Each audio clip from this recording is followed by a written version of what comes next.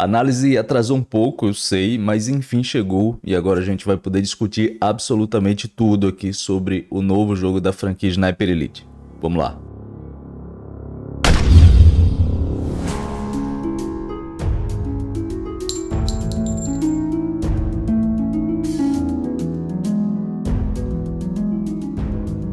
Ok, beleza guerreiros, eu sou William Roth. Hoje é dia de falar aqui sobre Sniper Elite 5, beleza? Eu vou fazer uma análise com base na minha experiência com esse jogo e na franquia de uma forma geral, né? Uma análise verdadeira, ok? Sincera, de, de fã mesmo, né? De fã da franquia. E por que que eu digo isso? Eu tenho visto por aí é, algumas pessoas que fizeram análises, não foram muitas pessoas que fizeram análise sobre esse jogo, mas tem algumas pessoas dizendo que sempre foram fãs da franquia, que jogaram todos os jogos não sei o que, que entendem demais. E tudo isso para tentar dar alguma credibilidade à análise deles. Só que tem uma coisa, quem é fã conhece fã. E eu posso dizer a vocês que a verdade é que a maior parte das pessoas só conhece a franquia mesmo de nome, certo? Se você perguntar qualquer detalhe sobre a história, o legado da franquia, certamente eles não vão ter resposta nenhuma para dar. Enfim, que satisfação, aspira.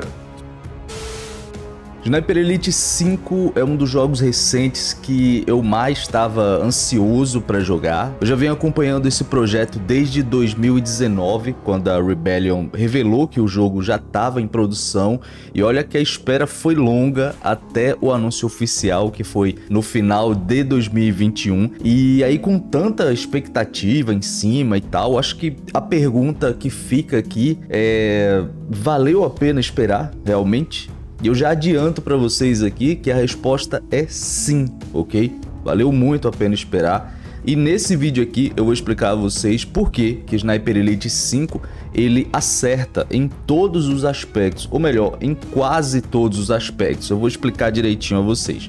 Mas antes, se inscreve aqui no canal, principalmente se você curte Sniper Elite, Splinter Cell, Metal Gear, Ghost Recon e outros jogos nesse estilo, porque esse canal aqui é focado nisso, beleza? Então se inscreve aí e vamos que vamos. Boa, 06. Padrão. Também atirando com meu fuzil fica fácil, né? Então, senhores, uh, Sniper Elite 5 ele é um jogo de tiro tático em terceira pessoa, com mecânicas de stealth, com mapa semi-aberto, com grandes áreas abertas, né, no estilo Hitman. Aliás, acho que nenhum jogo da série de Sniper Elite foi tão parecido com Hitman. Lembrando que o primeiro, lá o de 2005, já tinha sido inspirado no Hitman, né? Mas agora eles foram realmente além. Sniper Elite 5 ele é a continuação direta de Sniper Elite 4, né? A gente continua jogando com Carl Fairburn, mas agora, digamos que ele tá no auge, né? Como um agente oficial da OSS e com muita moral, né? Por ter acabado com o Rat alemão, que a gente viu lá em Sniper Elite 3, e enfrentou o Baum, salvou a vida do Eisenhower, como a gente viu no 4. Ou seja, o Fairburn ele foi uma peça fundamental nas consecutivas vitórias dos aliados ao longo dos anos aí, né? Teoricamente, o ponto mais alto na carreira do Fairburn devia ser no V2, que se passa um ano após o 5. Só que aí, com as limitações técnicas da época, o V2 ele acaba sendo um jogo com mecânicas muito datadas. Então, nesse caso, o Sniper Elite 5 ele acaba sendo o jogo que explora melhor todas as habilidades desse personagem. Aliás, esse jogo é como se fosse uma grande homenagem ao Fairburn. Os aliados sabem dos feitos dele nos últimos dois anos, todos confiam muito nele, eles sabem que não tem missão impossível para esse cara, sabe? E sem falar que os inimigos têm medo dele também. Com esse jogo aqui, a impressão que dá é que a Rebellion ela quer mostrar que o Carl Fairburn ele é um grande protagonista e ele pode tranquilamente ser lembrado aí na história dos games, assim como Sam Fisher, como Big Boss, como Nomad, como o Capitão Price, enfim, por aí vai. E eu acho bem válido, porque realmente é um protagonista muito bom. Sempre gostei muito dele. Eu só acho que ele sempre foi pouco explorado ao longo dos jogos. Aos poucos a gente vai pegando a história dele. Recentemente, inclusive, foi lançado um livro chamado Sniper Elite Origins. Eu ainda não comprei esse livro, né? Porque ele ainda tá meio salgado, tô esperando baixar um pouco para poder pegar, mas ele conta um pouco mais da história do Carl Fairburn. Eu tô bem ansioso para poder pegar ele, beleza? Exatamente para poder saber um pouco mais sobre o passado desse protagonista.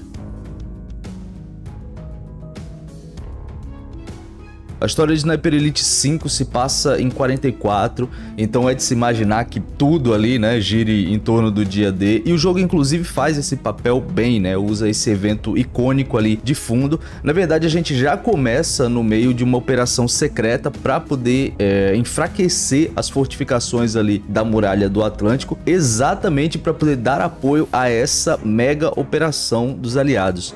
Mas aqui Assim como os outros jogos da série, né, a gente sempre fica nessa fórmula. A história foca num projeto secreto que pode mudar o curso da guerra em favor do eixo. Geralmente é assim, né? E aí logo no início a gente faz contato com a resistência francesa, que são as pessoas que vão ajudar a gente ao longo da campanha nesse processo, e a gente descobre também a existência de um projeto secreto conhecido como Kraken.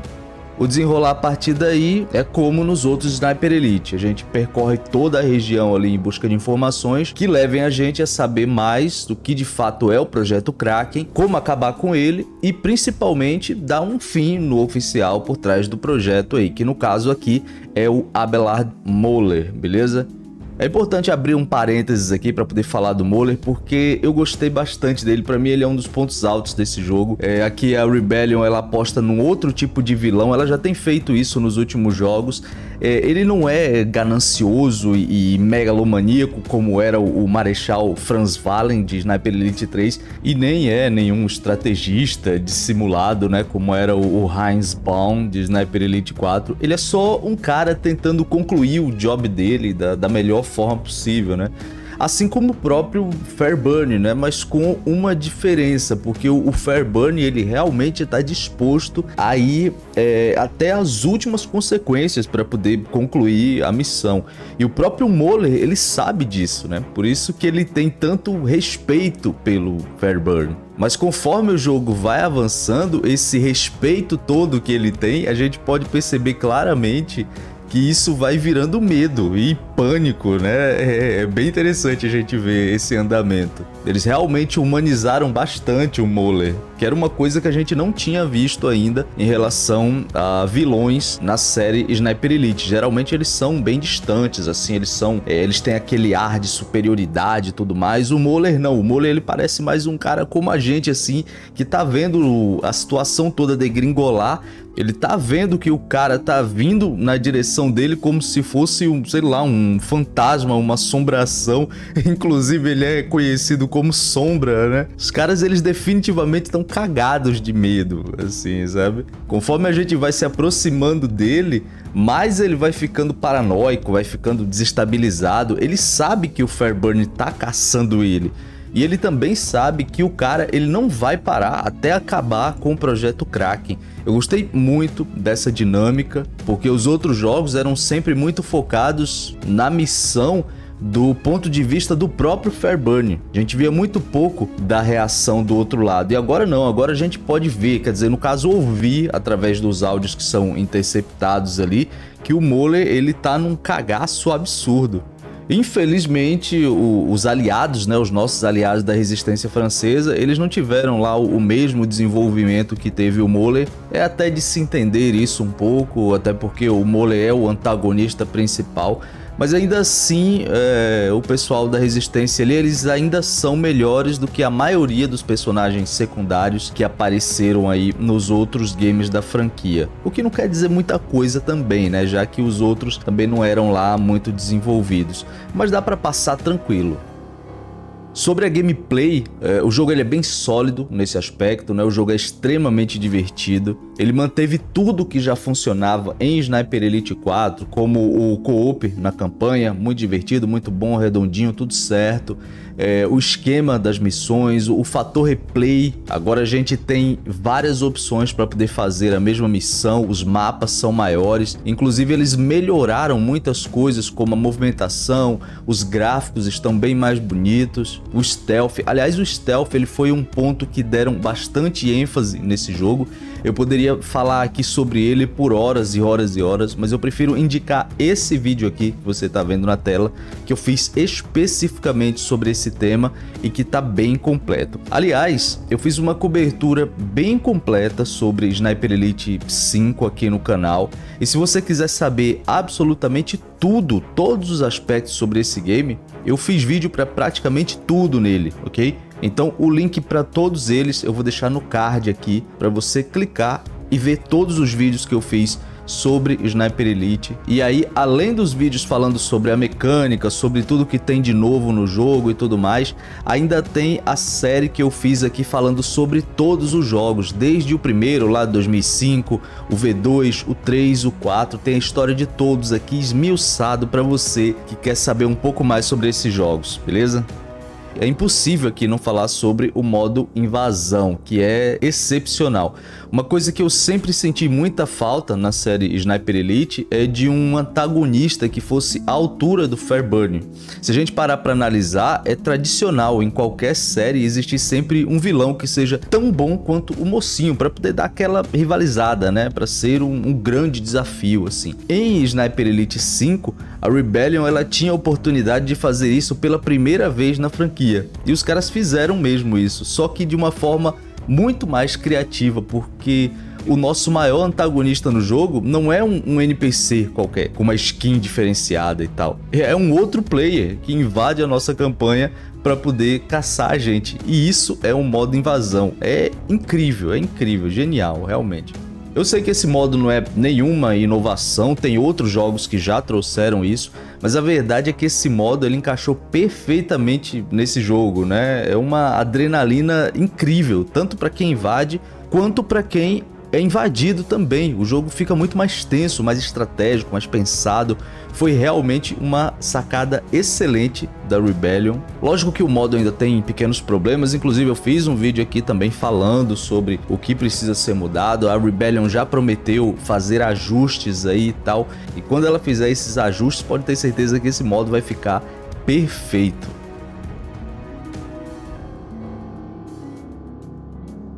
Sniper Elite 5 para mim, ele é um jogo que entregou tudo que prometeu, assim, de boas, né? É, eu vi algumas pessoas dizendo que o jogo era mais do mesmo, é, o que não faz muito sentido para mim. O jogo tem sim sua própria identidade, ele traz vários elementos novos, mas é importante lembrar que esse jogo ele faz parte de uma franquia que já conta com quatro jogos anteriores. Então ele é obrigado a manter certas características da série, ok? Os desenvolvedores eles não podem sair criando livremente e mudando tudo.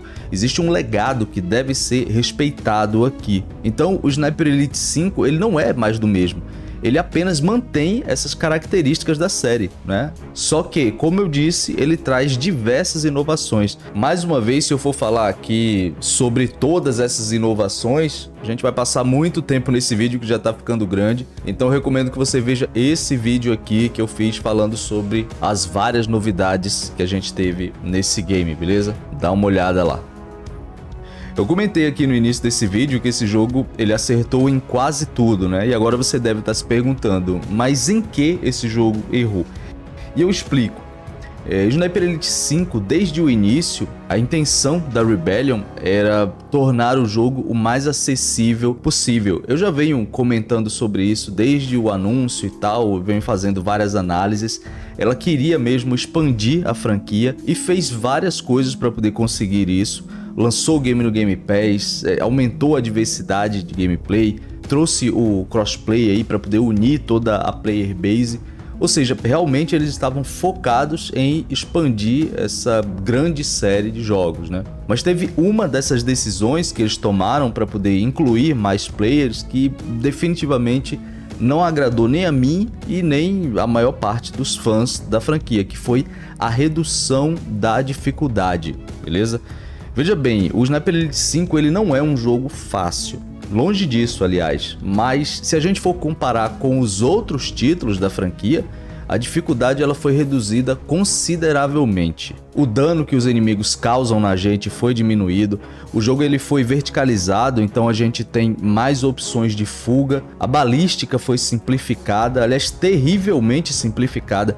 Se você tentar jogar os outros Sniper Elite e retirar assistência de mira, se você for tentar jogar no autêntico nos outros jogos, você vai ter que passar por uma curva de aprendizado. Você vai sofrer até entender como funciona. O cara tem que fazer um mini curso ali para poder conseguir, né? Porque cada arma tinha um esquema diferente. Você tinha que usar bastante os seus fuzis para poder entender como eles se comportavam em diferentes distâncias e tudo mais, a questão do dano, do bullet drop, tudo isso era muito mais agressivo nos outros jogos a gente tinha que compensar bastante. Às vezes um disparo de 100 metros já era comprometido pela corrente de ar, dependendo da força que ela tivesse, né? Se fosse uma distância maior, pior ainda.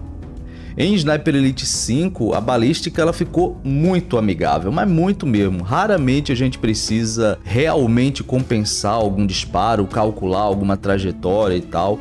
Eu espero muito que eles lancem uma nova dificuldade, no caso aí um, um autêntico plus, para poder trazer um modo mais hardcore para todos que gostam dessa dificuldade, como eu e como tantos outros fãs da franquia por aí, beleza? O Sniper Elite sempre foi uma franquia que focou bastante nessa questão da dificuldade quando a gente joga no autêntico e aqui o autêntico ele parece o, o hard de outros jogos da franquia, né? É uma pena, ele não parece ser realmente difícil. Então é isso, essa aí foi a minha análise, como eu disse, análise de um verdadeiro fã da franquia, alguém que já acompanha essa série há bastante tempo e que ficou bem feliz com a chegada desse novo jogo, porém, como eu disse, ele não é perfeito, né? Eu não falei aqui do modo multijogador porque eu joguei muito pouco esse modo, então né, eu preferi nem falar sobre ele. E o modo sobrevivência, digamos que tá padrão, né? Então é isso. Comentem aí embaixo o que é que vocês estão achando aí de Sniper Elite 5, se vocês concordam com a minha opinião ou não e vamos conversar, beleza? É isso. Não esquece também de dar uma olhada nos outros vídeos que eu fiz sobre Sniper Elite 1, 2, 3 e 4. Um forte abraço a todos, foco na missão e até a próxima.